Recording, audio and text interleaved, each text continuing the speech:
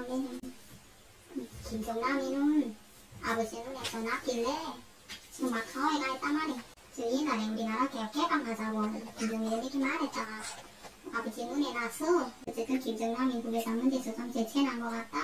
그리고 이상에 또 에미네 다른 번의 아들 김정은이하고 김정철이 있는데 그런 나이도 어리고 음, 아버지가 그런 다른 데다 몰래 줄 생각을 하냐고 내가 그때 한국에 갔댔는데 저기 가면은 그게 이 볼펜 한자전 방송에 나온단 말이야 그것만 들었고 말해 아, 어떤 내용으로 들었어요? 김정남이랑 그 첫째 아들이야 네. 음, 아들이 서희라고 김정철이라고 음, 그리고 김정남이랑 좀뭐 위조 여권 해가지고 요청에 들어가다가 아뭐 탈락됐다는지 뭐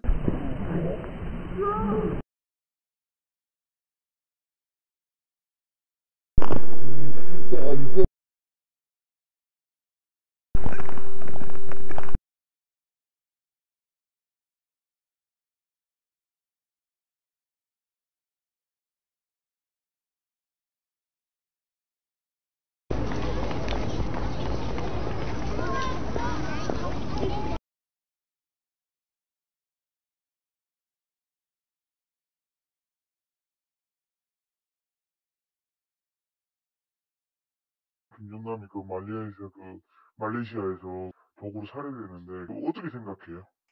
무슨 보낸 공작 하는데 네.